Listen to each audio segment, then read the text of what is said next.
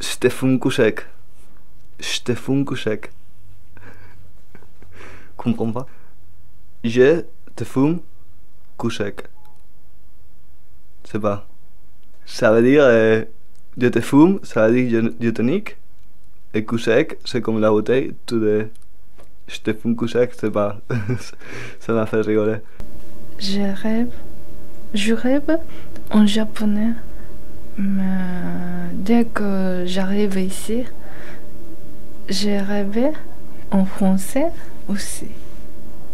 Mais toujours, je rêve avec mes familles, mes amis japonais. C'est vraiment chaque soir, je rêve. Je rêve. Ça m'étonne beaucoup. Au Japon, je n'ai jamais pas vu comme ça.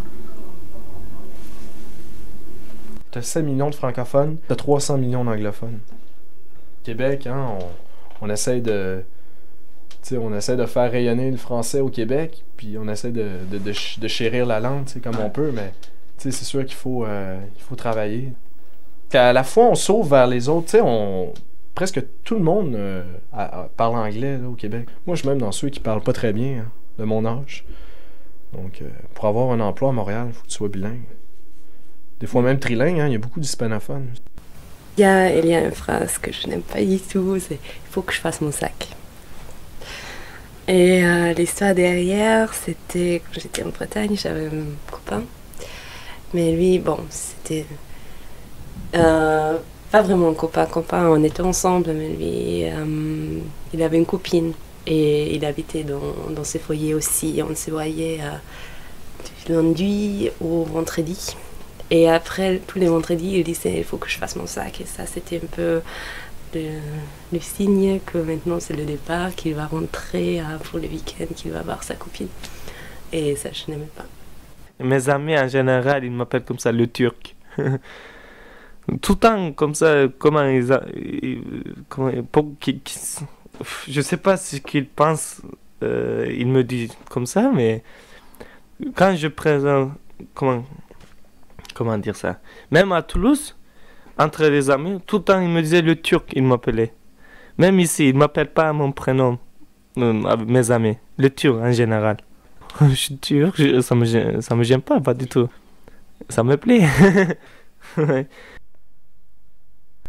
Par exemple, il y a un mec qui, qui, était à O'Neill, il a une copine suédoise et il parle un peu suédois. Et moi, je me suis moquée de lui, mais complètement, c'était trop rigolo. Il a parlé comme un robot, c'était n'importe quoi. C'était trop bon.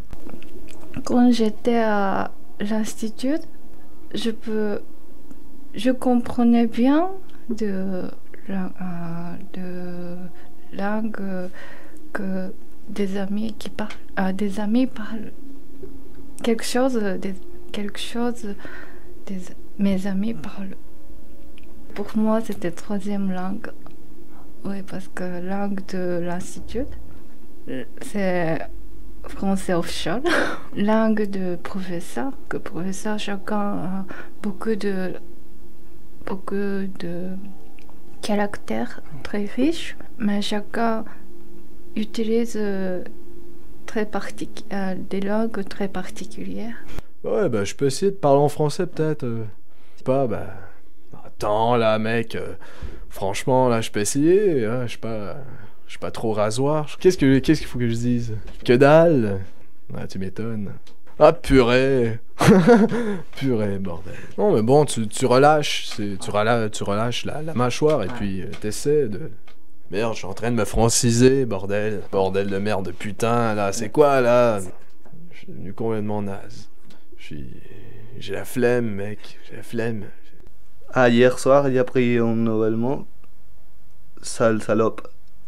Trouve, trouve vraiment sale salope, non? Sale, sale. À campagne, j'arrive pas à utiliser dans les phrases. J'ai pas pu apprendre ça encore. Ça fait longtemps que je, sais- je sais ce que ça veut dire à campagne, mais j'arrive pas à utiliser dans, phrases. À, euh, accompagner, accompagner, accompagner. Je peux t'accom- oui, je peux te accompagner, accompagner. Je peux t'accompagner jusqu'à chez toi. D'accord. Parce que j'utilise pour les filles de temps en temps. Tu sais, euh, l'amour de Pont Neuf, oui. Quand je, je l'ai vu, c'était il y a longtemps, euh, ça me fait très très très choquer. Et il me touchait très profonde. Donc j'ai décidé de séparer mon, avec mon petit ami. je suis rentrée, j'ai vu un film en suédois, enfin un film suédois. Et, et j'étais là, j'étais dégoûtée, j'ai pas compris. Et j'ai dit, mais c'était incroyable ce que c'était nul. Et, je, l'ai vu avec une copine qui est restée en Suède, enfin elle elle, elle, elle, elle, elle était pas en France avec moi. Et après le film, j'étais là, j'ai halluciné, parce que c'était vraiment le film le plus nul que j'ai jamais vu. Et elle était là, oh, trop bon, trop mignon. Et j'ai pas compris, c'était parce qu'ils ont, par... ont parlé d'amour en suédois. Et c'était pas bien, c'était ça ça m'a fait bizarre. Et c'était vulgaire. C'était vulgaire, c'est super, c'est super vulgaire, c'est pas, en français c'est doux, c'est, je veux t'embrasser et je veux te, enfin, viens dans mes bras. Et ensuite on dit, je peux te donner un câlin et c'est pas si joli, enfin c'est, beaucoup plus.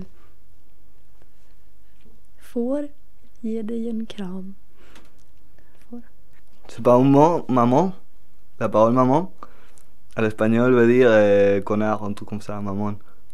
Et quand j'écoute un petit enfant qui dit maman, c'est pas quoi, ou il pleure, il dit maman, maman, euh, ça a commencé à un, un, magasin de bonbons où il y avait un petit enfant qui pleurait parce que sa mère n'achète pas de jamalo, jamalo.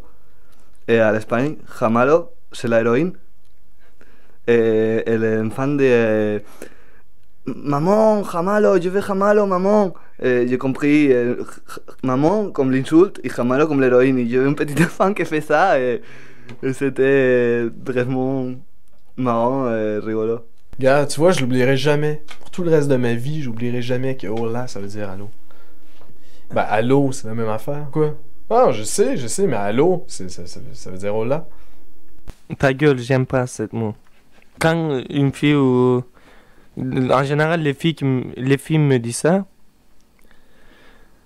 Ta gueule, ça, ça me tue. j'aime pas ce mot. Même je connais pas, ils l'utilisent beaucoup les, les, filles françaises. Euh, les hommes ils l'utilisent pas beaucoup, mais les filles ils disent. Même je connais pas très bien la fille, on parle comme ça, elle utilise comme ça ta gueule. Ça me tue. j'aime pas, j'aime pas du tout ce mot. Bon, il y a plein de trucs avec mes bien sûr. Quand il m'inquiétait, par exemple, c'était pas super. mais, mais bon, ça c'est. Bon, j'aime bien quand. J'aime pas quand Mimo il me dit j'en ai marre. Ça, j'aime pas. Tu vois le truc? Ça, j'aime pas. Ça, j'aime pas parce qu'il le dit trop. Il le dit tout le temps. Et c'est comme. Enfin, c'est comme. Il, il veut dire que lui, il a compris, il a vu ce, ce truc. Et il veut qu'on le voit aussi. Mais il est là, il est énervé parce qu'on ne le voit pas. Il croit. Mais bien sûr, on a compris. Mais bon, lui, il croit qu'on n'a pas compris. Et c'est que lui qui l'a fait. Enfin, mais bon. Euh, oui, c'est rigolo parce que Normalement, quand je parle allemand, je ne n'utilise pas trop, je n'aime pas. Mais en français, je, je l'ai dit tout le temps parce que pour moi, euh, le son, c'est plutôt le, voilà, le, le son du mot. Putain, pour moi, tu peux le dire. Hein. Tu dis, oh putain. Euh, c'est un truc, seulement le son, c'est presque mignon pour moi. Euh, et comme ça, ça ne me gêne pas de le dire. Hein. parce que peut-être je ne comprends pas tout à fait le sens. Bah, je vais dire, je sais ce que ça veut dire, quoi. Et euh, ouais, comme je dis ça, en allemand, je ne dirais pas schlampe tout le temps, mais voilà, en français, je l'ai fait.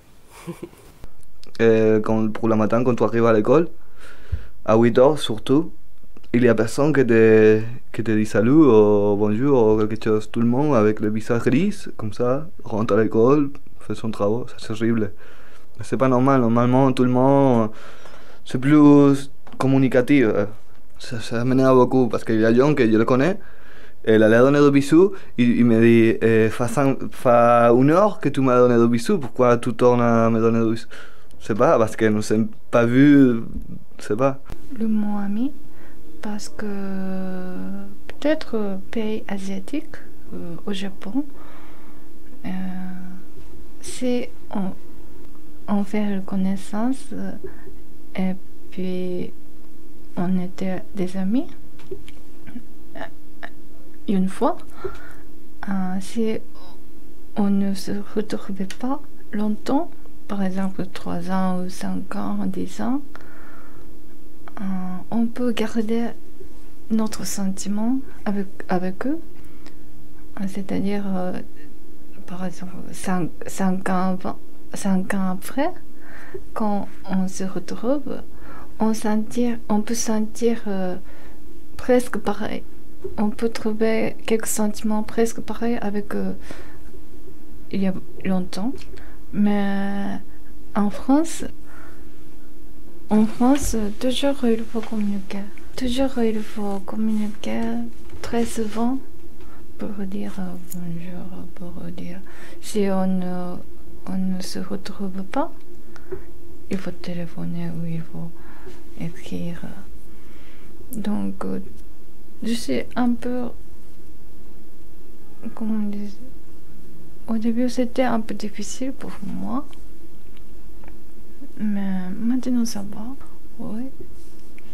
C'est comme un peu, un peu physiquement pour moi. Parce que entre amitié, entre amis, l'esprit c'est plus important pour nous. Mais en Europe, c'est bien sûr euh, c'est c'est pareil, mais il y a d'autres choses aussi, ça existe. Hmm. Qu'est-ce qu'il va me poser comme question, ce français? Cet Andalousien. Ce canailleux, ce snoro, ce schnappant, un peu baveux, un peu narquois. C'est une rime que Félix Leclerc emploie dans le québécois. C'était un Québécois, narquois comme tout Québécois, pendu à la gar- gargouille d'un toit. Il était amoureux. Enfin, je me rappelle plus des paroles. Profiter, j'ai appris. C'était dur à apprendre parce que j'ai entendu plusieurs fois. Je connaissais, que, mais je savais pas ce que ça veut dire. Voilà, c'était pro, euh, profiter, oui. Profiter, ça veut dire, j'ai appris comme ça. Un jour, j'étais au IPN. Euh, non, mon ex, elle me disait t'es profiteur, une ex française. Et je comprenais pas. Un jour encore, j'étais au IPN, j'étais pas avec ma copine. J'ai eu un ami, euh, il m'a demandé ma copine, elle va bien ou ça. Ah, J'ai dit ouais, c'est dur le, j'arrive pas. Euh, voilà, il m'a dit où elle est? Dit elle n'est pas là, elle est chez elle. Je sortais tout seul. Il m'a dit il faut profiter, oui. ouais, après, voilà, j'ai appris comme ça. Euh, j'ai pensé que c'est comme ça veut dire ça, profiter, comment dire.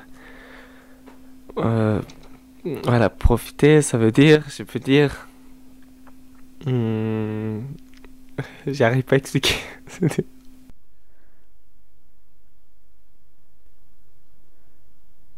Il y a un mot en suédois que, que, que, je croyais n'existait pas en français. Mais mon patron, il a dit que ça existe. Enfin, j'ai expliqué, il m'a dit oui, il y a un mot, mais on ne l'utilise plus. Et c'est, enfin, ça veut dire comme un mélange entre la moitié et assez et pas trop et entre enfin, le moyen. Enfin, c'est comme la Suède, c'est comme ça. C'est pas trop, c'est pas trop peu. C'est, mais c'est bien. C'est bien entre les deux, comme ça. On a trouvé le bon niveau. Et ça, c'est un truc que je veux bien, enfin, je veux le laisser tout le temps parce que c'est, important. Mais ça, je le trouve pas, je sais, je le connais pas. Et ça me dérange. Avec José, moi et José à la fête, c'est tout le temps des regarde ceci, quel coup, regarde ça. Simple- simplement pour rigoler. C'était cool ça. En général, je suis avec les Français, oui, tout le temps. On se comprend bien, hein. Voilà, il m'explique, euh, je comprends ce qu'il m'explique tout le temps, mais quand euh, on est de 3, per 3 4 personnes, il y a plusieurs personnes, quand ils, parlent entre eux, je comprends pas. Au début, je comprends peut-être, mais ils parlent vite entre eux. Euh, après, ça me coupe comment dire, moi je suis ailleurs. je pense ailleurs et ils discutent entre eux. Je comprends pas du tout. Quand ils me posent une question, après euh, je, je comprends un petit peu, je parle, après voilà, ça me coupe. Euh, je pense autre chose. Je pars moi, je sais pas euh, comment. ailleurs, je pars en Turquie, je pars. Et autre chose, je pars. Voilà, je pense autre chose. Euh, je comprends pas quand ils parlent vite entre eux. Mais quand ils parlent euh, avec moi, parce qu'ils parlent, quand ils parlent avec moi, ils parlent doucement. Comme ça, je comprends. Je peux discuter avec eux. Mais de temps en temps, ils oublient que je, je, suis- je suis là. Voilà, ils oublient. Pour ça, ils parlent vite entre eux. Moi, je, je, parle, pense, je pense autre chose. je vais ailleurs. C'est dur. Faut y aller, Pri. Dis-moi que je un gars patient. Dis-toi que je un gars patient, puis viens me voir quand t'auras 20 ans, belle était là. Pop, pop. Petite chanson des colocs. Des colocs, le groupe Les Colocs? Par exemple, je n'aime pas quand des personnes disent que l'allemand c'est pas une langue jolie parce que justement, bah, ils disent tout le temps c'est dur et tout. Euh, c'est vrai, ça a une autre euh, intonation que le français bien sûr, mais euh, moi je crois c'est parce que les personnes qui disent ça, ils ont surtout vu des, vieux films de guerre ou surtout la Deuxième Guerre mondiale où ça chante aussi. Hein. C'est euh, c'est pas si dur que ça. C'est voilà, je sais pas. Moi j'aime bien l'allemand parce que c'est très euh, très riche, un peu jouer, jongler avec les mots et euh, faire beaucoup de nuances que peut-être en français n'existe pas comme ça, mais ça rend la, la langue difficile, ouais, c'est clair. Pour quelqu'un qui qui apprend la langue, c'est dur. Ah, Moi, vraiment, le français, j'aime pas. C'est trop ni ni ni ni, muy trop, je sais pas. Je sais pas, les, les vins, les, les smoking, les pins, voulez-vous, je sais pas, j'aime pas. Je le trouve trop. J'aime pas les. les j'aime plus les, les langages plus directs, plus agressifs. Que le français le trouve trop. Bon, on revient sur mes mots. J'aime bien quand il m'appelle bébé. Ça me... Oh, du moment que tu donnes du temps à ta voix, tu fais, tu fais ce que tu veux. Ah ben là, j'ai compris, là, bordel. Ben peut-être que je fais, peut-être que je veux essayer de parler comme un noir, là. tu, tu essaies, tu, tu prends un peu le... Je sais pas, moi, tu, tu fais un peu comme André-Philippe Gagnon, là, qui imite tout le monde, il imite la planète, là, il chante son... euh, tu sais, euh, We Are the World. euh, tu vois, bordel. Non? De quoi t'as l'air, toi, après, quand tu sors dans la rue? Et que tout le monde se barre de ta gueule? Foutaise de merde. Et je vais vous le dire, il n'y a qu'une chose de vrai sur cette planète, c'est le blues. Hein? Le blues, putain. Sacrément, j'ai travaillé toute ma vie. je sais pas ce que je dis.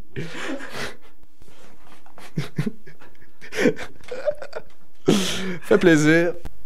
Moi, je me suis toujours vue comme, comme une personne et pas quelqu'un, petite fille. Mais je sais que, en même temps, je sais que je suis vue comme ça. Enfin, il y a des gens qui me voient comme une petite suédoise. Et pour moi, c'est étrange parce que je me vois pas du tout comme une fille même. Non. Je, enfin, je suis illoise, c'est tout. Et là, quand, quand il me dit bébé, c'est vraiment pouf, oh, je suis tout faible et petite. oh. Il faut s'occuper de moi. Et ça, j'aime bien des fois. D'être petite et faible. Je comprends pas tout. Je prends les mots que je connais. Après, je, je comment dire, ah, imagine. Je l'ai fait. Je te réponds. Sinon, je comprends pas tout. Toujours, c'est, ça m'arrive tout, tout le temps, tout le temps. que j'ai envie de parler avec des étudiantes, mais je ne peux pas parler encore bien. Donc, euh, toujours euh, des paroles, euh, des discussions ou euh, des conversations sont très très courtes. Donc, euh, je peux, on ne peut pas rester longtemps ensemble. C'est trop dommage parce que vraiment j'ai envie de rester avec, euh, avec eux, mais je peux pas parler. Donc, euh, mais il faut progresser aussi. Et une autre chose, je, quand je vois, pff, c'est horrible, la communication, c'est impossible. Je comprends rien, je peux parler rien, je ne peux pas prononcer bien. euh, c'est une autre difficulté. Au début, quand je comprenais pas une discussion, si je faisais pas vraiment attention, après quelques temps, j'ai arrêté d'écouter en fait. Si j'étais si j'étais pas en train de parler avec quelqu'un, j'arrête d'écouter. Par exemple, si on est chez Memo, il y a les Memo qui parlent, moi j'écoute pas. Enfin, je les entends, mais j'écoute pas. Je je enfin, je sais pas pourquoi. C'est c'est pas bien. Et parce que maintenant je le fais en suédois aussi et que j'écoute pas les gens qui parlent à côté de moi. Enfin, peut-être des fois c'est bien, mais des fois c'est pas bien. Enfin, je ferme les oreilles, enfin, j'en- j'entends pas. Ouais, et si je parle avec quelqu'un, s'il a le mot que je comprends pas, enfin, il explique. Enfin, je retiens ce qui, ce qui m'intéresse. Et j'ai pas, j'ai pas retenu quelque chose de, de, de- que, enfin, je, je sais pas. Quand j'avais 16 ans, je suis partie de chez moi. J'ai vécu 11 mois aux États-Unis. Et euh, là, j'étais toute seule euh, autour de moi. Il n'y avait que des, Américains. Et au bout de quelques mois, j'ai même rêvé en, anglais. J'ai parlé, parlé bien sûr, pensé en anglais. Et ça ne m'est jamais rêvé avec le français. Je n'étais jamais euh, tellement dans la langue comme c'était le cas avec l'anglais. C'était peut-être, ouais, justement parce que j'étais la seule, euh, ouais, la seule allemande. Et aussi parce que je crois j'étais, bah, j'étais plus jeune et peut-être ça a à voir aussi. Euh, après, à mon retour, euh, j'ai glissé des, des mots en allemand, mais ça ne voulait rien dire. C'était un peu la traduction, la construction des phrases anglaises que j'ai que j'ai imité. euh, ouais, j'ai parlé le euh, allemand-anglais en même temps. voilà. Mais maintenant, je je, je parle plus l'anglais, alors j'ai presque tout oublié des nouveaux, c'est un peu dommage. Mais comme je ne parle plus depuis 4 ans, ça s'oublie tout, de suite, toujours pratiquer, donc sinon ça s'oublie. Gros mots, par exemple? Non, j'utilise pas les mots comme ça. Non, c'est clair, non. Euh, parce que je connais pas trop. Euh, même je connais, euh, je suis pas. comment je peux euh, prendre, comment dire ça Euh, À qui j'utilise Comment. comment dire ça J'arrive pas à expliquer. Qu'est-ce qu'il peut me, di- il peut me dire Peut-être il peut prendre méchant ça. Voilà, je- encore je parle pas très bien. Si j'utilise les mots comme ça, ça peut être dangereux. Voilà, pour ça je n'utilise pas. Mais c'est dangereux. C'est dangereux. Je, me- je commence à me rendre compte que c'est dangereux que, que je reste ici. Enfin, que je suis revenue. Parce que maintenant, je sais c'était super difficile de rentrer en Suède. Ça n'a pas marché. Et ça va être encore plus dur quand je rentre la prochaine fois. Parce que là, je, je serai même plus euh, éloignée de, de, mon pays, ma culture et mes amis et tout. Mm. Parce que maintenant, ça fait un mois et demi, j'ai pas parlé avec des amis, j'ai rien vu, je sais rien. Enfin, c'est Maëlle qui m'a dit que la ministre était morte. Moi, je suis là, ah d'accord, ah bon, tant pis. Et en Suède, c'était une tragédie. Enfin, tout le monde était là, oh, en larmes. Et c'était, ouais, c'était, c'était une catastrophe. Et moi, j'étais là, ah bon, bon, c'est pas grave. Et elle était à droite. Moi, je suis à gauche. On a voté non, c'est bien. Tout ce qui compte. Beaucoup de choses grâce à ma mère, grâce à ma grand-mère, grâce à mes familles. Ma mère m'a donné ma vie. Ma grand-mère euh, a donné la vie de ma mère. Moi aussi, j'ai amené ma vie et la vie de ma mère, la vie de ma grand-mère. Comme ça, on a, beaucoup, on a amené beaucoup, beaucoup de temps, oui, de temps et respiration et de son, lentement. L'amour aussi, mais c'est... Non, il y a des autres mots, mais je l'ai oublié. O la machine de laver, com s'appelle, la, la lavadora. Et maintenant, je parle avec copains espagnols, à moi, et je les parle de la màquina de lavar. la machine de laver, pas de la lavadora. Et c'est, je trouve bizarre, euh, comme ça, des, des paroles que j'échange ici euh, pour c'est un. Je sais pas une parole, et pour, les, pour c'est comme le dire. Je, ça, deux, trois, les briquets, les, appareils de faire faux, tout ça, comme ça. Et après, à l'espagnol, le dis comme ça. Don, dame aparato de fuego, cosas comme ça, que sont fous. euh. Mais comme, comme l'autre comprend, euh, ça va. Tu sais, puis ici, tu vois beaucoup de filles, tu sais, qui ont, euh, on dirait, une drôle d'opinion des gars. Je trouve ça drôle. Puis en même temps, ben, tu sais, tu te demandes, tu sais, tu te demandes si c'est pas à cause d'elles, justement, parce que, tu sais, tu vois, comme il y a des filles, euh, je t'aimerais pas de nom, même de l'école, qui, qui sont très, euh, très méfiantes, tu sais. Mais c'est un peu de leur faute aussi, tu sais. Je crois qu'ils ils cherchent un peu, ils font un peu les... Il y avait un mot, j'ai trouvé un dictionnaire, abject, quelque chose comme ça. Abject. Qu'est-ce que ça veut dire abject? Je sais pas. Euh, je croyais que c'est le français. Euh, J'ai vu un dictionnaire. C'est photo dictionnaire. je je l'utilisais, mais personne connaissait.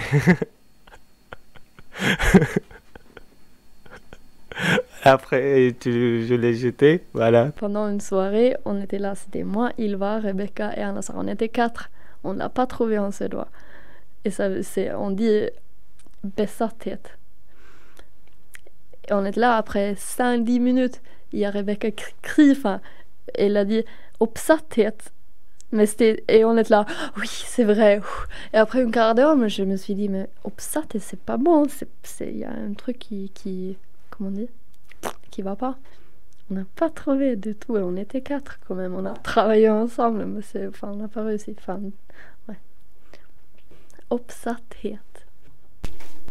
Je pense qu'il y en a qui pensaient que, que je les draguais, tu sais, des fois. Je pense alors que moi, j'étais totalement... euh, bon, je leur parlais sans, me- poser de questions, tu sais. Ouais, tu me dragues. Non, non, pas du tout. Des filles, justement, qui commencent à me parler normalement. Tu sais, au départ, hein, le petit Québécois, ils veulent m'entendre parler, bon, ok. Un coup que c'est fait, qu'est-ce qui reste? Ah, c'est pas grave. C'est pas grave parce que quand j'ai ennuyé, quelqu'un qui m'a ah, quelqu'un m'a dit que c'est pas grave. Non, c'est très grave. voilà. Pour moi, c'est très grave, mais euh, pour les autres, euh, ce n'est pas grave.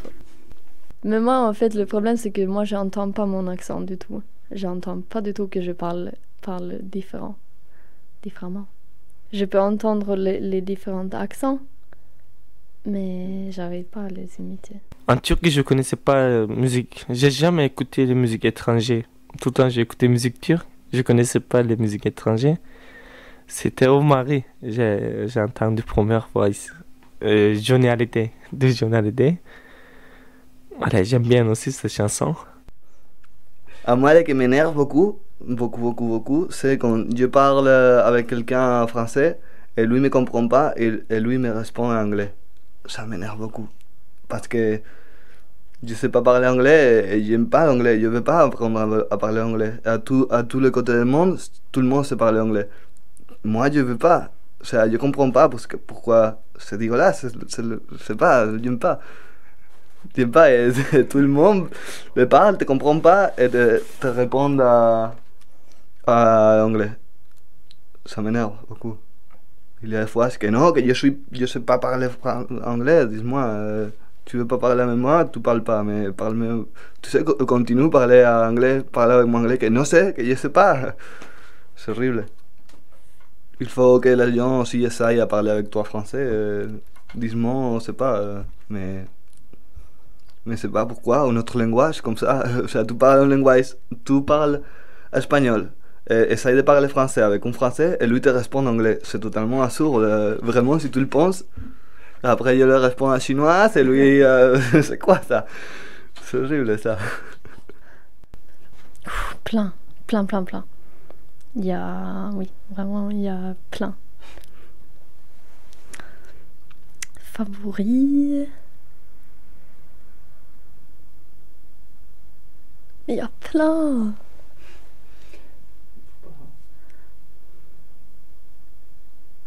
Maintenant, je trouve rien, bien sûr. Euh,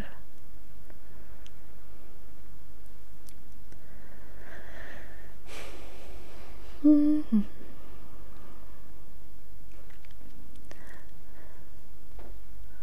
trouve pas. Et puis, la vie est belle aussi. La vie est belle parce que avant de j'arrivais ici, euh, quelquefois j'ai entendu, mais je sens pas comme ça. Mais en France, je peux sentir la vie est très belle, voilà. Quand, quand il a commencé à avoir un questionnement avec l'art contemporain. Tu sais, parce que moi, je me suis lancé là-dessus vraiment avec. euh, des trucs comme les impressionnistes qui, me- passionnaient. Si tu savais, après ça, tout ce qui a dû être cassé, tu sais, comme, comme d'idées préconçues, on n'est pas. On, essaie de se protéger du mieux qu'on peut, mais c'est pas facile. Quand on commence à te parler d'art conceptuel, puis, j'étais plutôt à rebrousse-poil, moi. J'ai- J'aimais beaucoup aller au musée, tout ça, mais les expos d'art contemporain, euh, quand t'as ça, tu comprends pas. C'est comme indigeste. En même temps, je voulais vraiment apprendre la peinture parce que je sais que la peinture c'est complexe puis ça fait pas longtemps que j'en fais. Puis je sais que les autres médiums ça me laisse plutôt froid en même temps, je voulais pas me perdre, je voulais pas trop m'éparpiller. C'est déjà que j'ai de la misère à me, à rapailler. Par exemple, quand mon frère est venu me voir ici, il, a, il voulait aussi sortir, bah, sortir entre guillemets, mais avoir une petite euh, affaire si tu veux avec une française. Ça, ça reste dans, les rêves euh, des Allemands, avoir une française dans sa vie. Bah, J'exagère, mais vraiment, quand on parle des françaises, c'est toujours dans le sens euh, belle femme, quelque chose à attirer, bah, quelque chose, quelqu'un à attirer, à, à- ouais, c'est un peu extravagant peut-être, euh, je sais pas trop. Et pour ça, je crois que l'accent joue là-dessus, tu vois. C'est euh, c'est ça, ces combinaisons entre, entre euh, une personne qu'on qu'on veut l'avoir, qu'on admire, qu'on dans mon rêve. hein, et cet accent-là. C'est surtout, surtout des Françaises et des fois des Suédoises. Enfin, maintenant, ce que j'aimerais bien, c'est, de parler le français correct. Enfin, de, de, de... Parce que ma langue parlée, c'est vraiment la langue de la rue, que j'ai appris. C'est souvent que je connais les, les, les mots de verlan, mais pas les mots corrects. Par exemple, relou. J'ai appris relou, je ne savais pas que c'était lourd en verlan. Donc, c'était un peu. Et ça, j'ai- j'aimerais bien J'aimerais bien enfin, parler comme une Française et pas comme une Suédoise qui parle français. De, de... Ouais. Mais aussi, en même temps, je, je veux bien garder mon accent parce que ça, c'est une partie de ma personnalité ici en France. Parce que la façon de laquelle on s'exprime, c'est. Oui, c'est important pour... Enfin, ça donne une idée de la personne. Et, donc, moi, je suis suédoise et je resterai toujours suédoise. Et comme ça, c'est bien de garder l'accent, parce que c'est un peu un signe pour la nationalité. Ça montre la nationalité et ça montre moi. J'avais un ami, il parlait pas du tout français, un turc. Euh, il avait besoin de mon, euh, aide. Il a besoin d'un traducteur avec parler euh, quelqu'un. C'était pour travail ou quelque chose comme ça. C'était une femme. Euh, J'étais traducteur entre eux. Euh, C'était pour travail, je crois. Euh, C'était, il travaille sur des chantiers, lui. J'étais traducteur entre eux. C'est c'est dur, hein. Je parle pas bien, mais j'ai fait tradu traducteur. Comment traducteur Traducteur, oui. Une fois, j'étais comme, j'ai fait comme ça. Lui, il m'a parlé. Lui, il m'a, il m'a parlé en turc. Il m'a, il m'a parlé turc. Moi, je parle français à elle. Elle parle français, je parle turc à lui. Une fois, il m'a, il m'a dit en turc. Moi, j'étais en femme. J'ai répété c'est la même phrase en turc. C'était bizarre. Comme ça, il m'a dit une, une- une phrase turque. J'ai tourné la femme. J'ai dit même une phrase en turc. Elle arrête, tout le monde arrête. Tout le monde. Je... De temps en temps, ça m'arrive comme ça. Je, j'oublie, je parle avec quelle langue. C'est dur traduire parce que je parle pas bien français. En plus, je fais traducteur. C'est plus en plus dur. hein. Hum, C'est-à-dire, euh, quand j'étais au Japon, je connais quelqu'un, euh, je, connais un peu d'étrangers. J'avais des amis étrangers, mais c'était qui sont très très peu.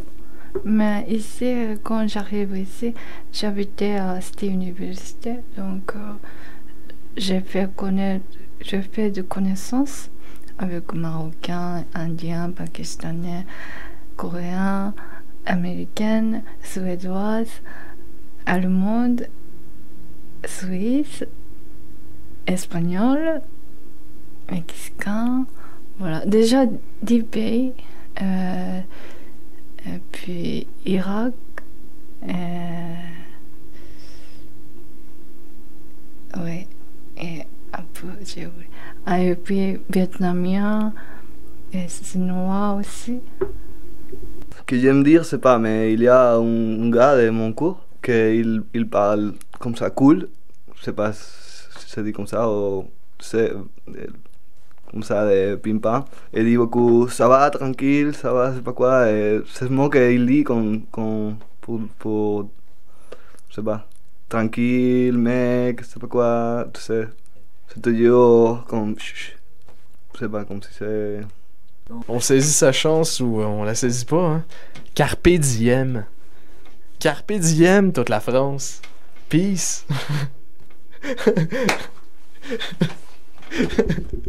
T'es content, là? Regarde ce que tu me fais dire. Tu t'es bien moqué de moi quand j'ai dit moitié dans ces mauvaises façons. Et maintenant, je, je réagis toujours. Enfin, je, j'y pense. On était, on était au Brigand. Et je dis la moitié, moitié. Et ça dit, c'est la moitié, moitié. Et quand j'avais bu quelques bières, je n'arrivais pas à le dire. Moitié. Mais c'est bizarre parce que c'est un mot tch.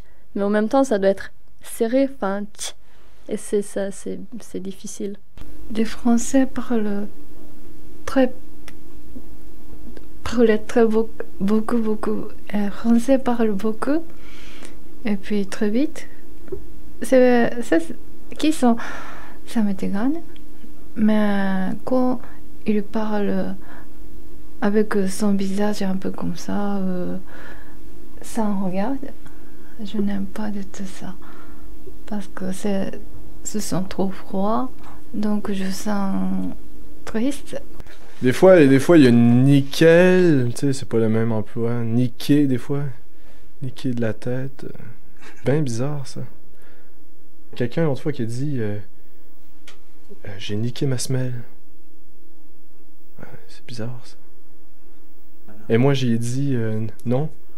Attends, il a dit J'ai niqué ma semelle. Et moi, j'ai répondu. J'ai répondu Le nickel t'a semé. Ah ouais. Quand j'ai essayé de parler quelque chose sur mon travail en japonais, c'est déjà difficile.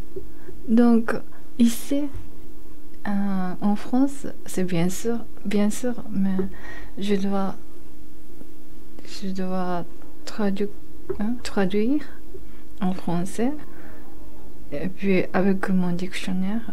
C'est-à-dire, euh, en français, il y a beaucoup de synonymes on utilise beaucoup de synonymes, mais dans le dictionnaire, les significations sont pareilles. Donc, euh, j'ai choisi quelques mots et puis j'utilise quelques mots, mais pour euh, des profs, euh, pour des étudiantes, pour des Français, ça ne marche pas bien. Ah, mais tu sais, ah, tu m'étonnes. Ah, tu m'étonnes. C'est quand même bien ça. Ah, putain. Beaucoup d'étudiants qui disent Ah, putain. Ils prennent une puff de cigarette ensuite et. Putain, euh, en fin de semaine, je vous dis pas. Justement, je vous dis pas. Au Québec, c'est. C'est pas je vous dis pas, c'est. Ah, je te dis, elle. Puis tu sais, tu rumines, tu sais, tu dis Ah, je te dis. Tu dis pas euh, Je te dis pas. C'est je te dis. Justement, avec écœurant. Des fois, tu peux avoir les deux significations d'écœurant. Écœurant positif. Quand, quand tu t'exclames, ah, c'est écœurant. Tu sais, c'est grandiose, c'est écœurant. Ou c'est écœurant dégueulasse comme ici. Ouais, totalement les deux. Et ça, ça, ça dépend de l'intonation. J'ai écouté beaucoup de chansons, j'ai vu beaucoup de films aussi, mais je ne comprenais pas rien du tout. Mais petit à petit, je, compren- je comprenais. Donc c'était très bien. Je sais pas, je suis calme depuis quelques temps et c'est, c'est, ça fait longtemps que j'ai été vraiment, je sais pas, tout était dramatique et maintenant je m'en fous, j'ai, plus envie. Je me suis calmée. Mais moi, il dit que j'ai changé le regard. Mon regard, il a changé depuis quelques jours. Je sais pas pourquoi. Et moi, j'ai dit d'accord.